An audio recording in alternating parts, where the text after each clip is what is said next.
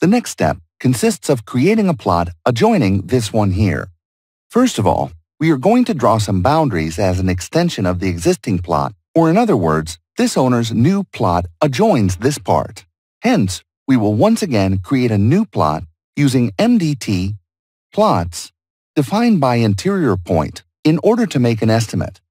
Why? Because this plot now measures 41,000 square meters, and it would be too big, so we're going to create a division with the occupation surface. We go to MDT, plots, divide, and in this case, we are going to use divide by parallel. We select our plot and are then asked to specify the side on which we are going to create a parallel to divide the plots. We could use this boundary or the other one. Let's do it with this one.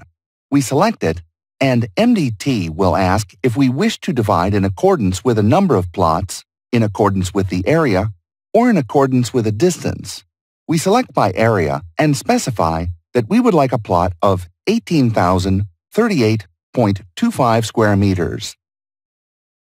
We accept, and the calculation is completed.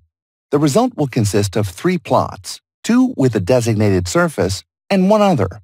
We could use any of the two or even create another partition in relation to another boundary. We are going to split it and use this plot and delete the rest using MDT plots delete. The next step is to merge these two plots, and MDT features this tool under MDT plots merge. However, the problem we have is that we need to divide this other plot beforehand, which we can do using MDT plots divide, divide by polyline. We select the plot to be divided, right-click, and then select the cut polyline.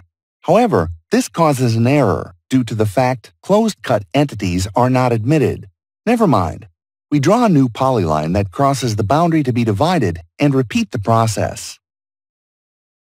We execute MDT, plots, divide, divide by polylines, conduct the process of designating the plot to be divided and the cut polyline, and here we have the new plots created.